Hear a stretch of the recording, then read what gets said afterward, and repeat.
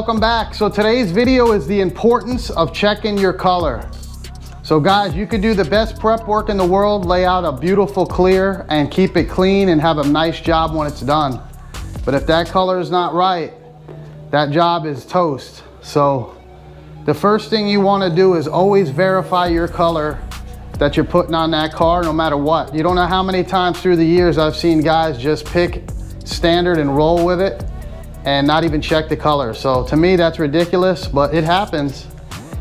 And I, uh, just don't understand it. So even to you guys at home that are spraying your cars, make sure you bring a, your car to the paint store or bring a piece of it that you want to match, have them dial the color in for you and make sure you spray a little test panel yourselves. That way you don't paint your car the wrong color because you guys will be in a bind. You won't be able to tint it like we can, us, uh, you know, painters at, at these shops that have a bank. So check your color. We're gonna shoot this big three stage, two tone and uh, we're gonna see how we can get this one to come out. So we wanna show definitely the, the importance of checking your color, verifying it, doing the spray out cards, because that's what makes a painter. It's not just applying paint and getting a nice gloss. It's knowing how to do what you gotta do and when you gotta do it.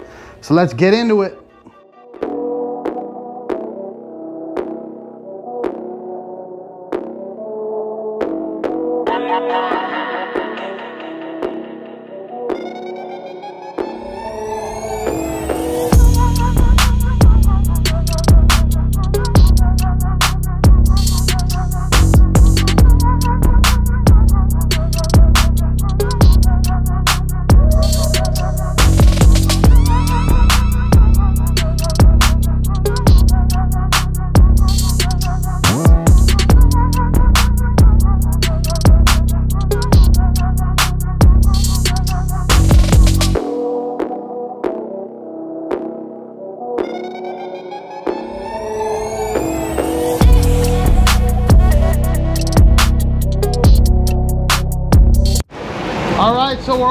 Up. And now we're gonna show you the spray out cards. So I have this color sprayed and I have my sealer on the other side. That way you know what the ground coat is. And that's a very good tip to you guys when you're spraying these three stages to get your ground coat on the card, tape it off and leave that on there. That way you have it for every time you know what you put underneath it because the ground coat will change these colors dramatically. So this color has two chips from the variant deck and I have a spray out card for this one here that I use all the time. So we're gonna shoot this one. We gotta put the bottom color on, it's J7. And uh, we're gonna start off by doing that. So I got that color also dialed in. So the more documentation, the more checking you have, the better off you're gonna be in the long run. So it takes a little bit of time, like I always tell you, but it'll save you from redos. So documentate what you do, show the ground coat, show the coats, and uh, the more you have documented when you do it, actually even put the date on it when you did that card. That way you know how recent that card is and how up to date it is. So let's go ahead and put the base on the bottom.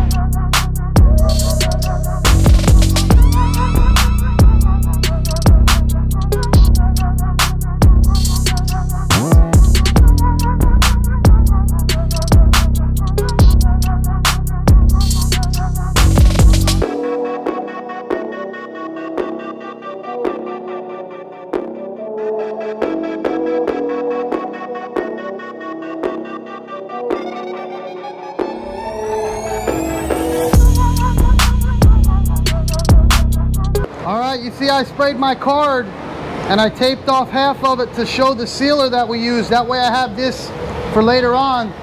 And this is the best practice that I've had through the years. So mark your sealer. When we pull this tape, the sealer is gonna be underneath. And that way we'll have that for our documentation on this color, what we actually put underneath it. So it's not so crucial on a color like this, but it's definitely still good to have in case you got to spray a part later, like a door, say somebody hit a door and you already painted the side of a car, definitely want to know what sealer you put down underneath that in case you wanted to panel paint something. So like I was telling you, the more you have a documentation, the easier it is on you.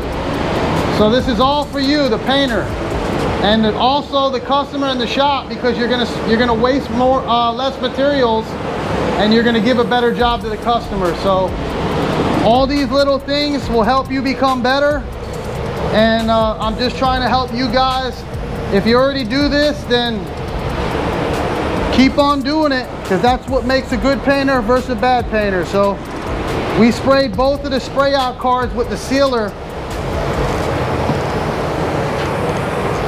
This is the one we're gonna be using for the red, the RR. So we have both of them with the same sealer that we put on both so we have them documentation. So I put two back-to-back -back coats. I'm gonna let this dry, drop it. I'm gonna mask up the bottom and we'll start doing the RR.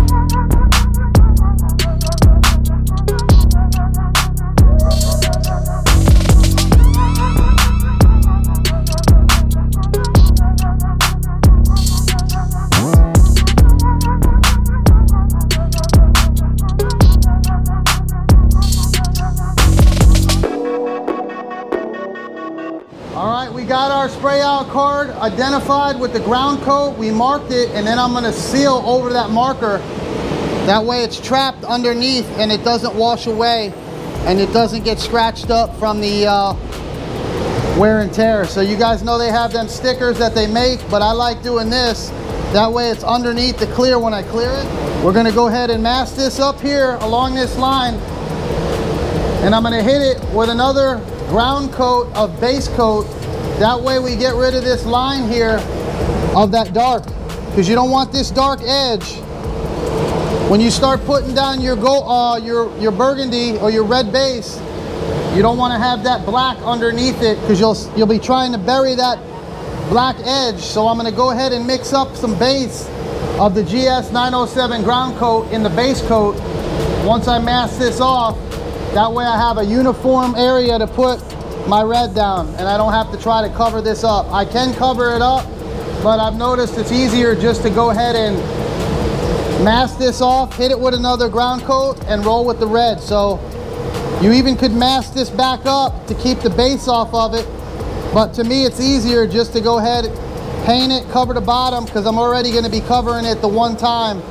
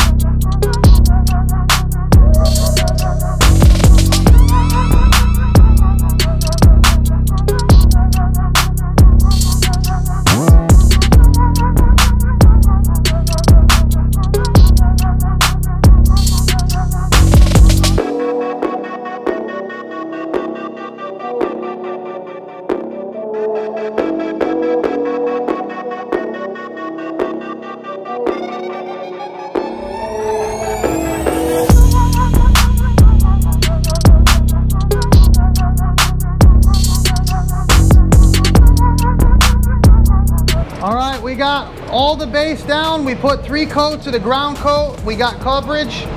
I've checked it with the light and we're going on to our mid coat now. We're gonna put two coats of the mid and you guys know I already have this color sprayed out. I'm just doing this to update the chip. So I know it's two coats. We'll check it before we clear it. And then we're gonna clear this one. We'll unmask the bottom, clear it all together.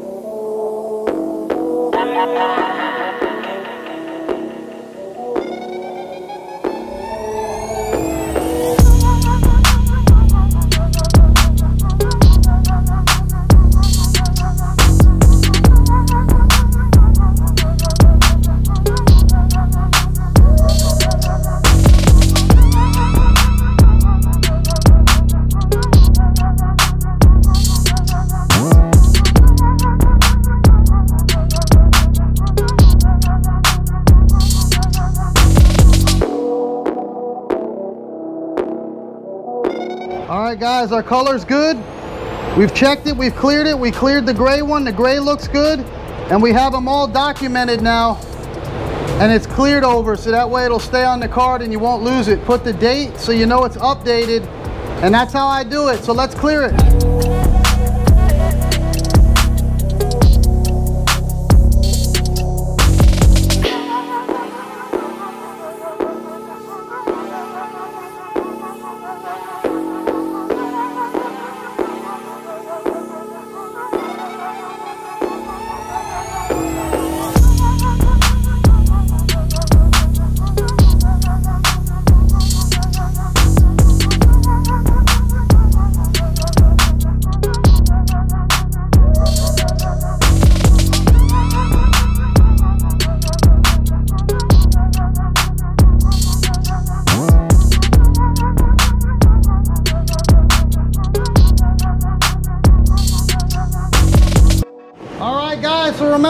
Told you.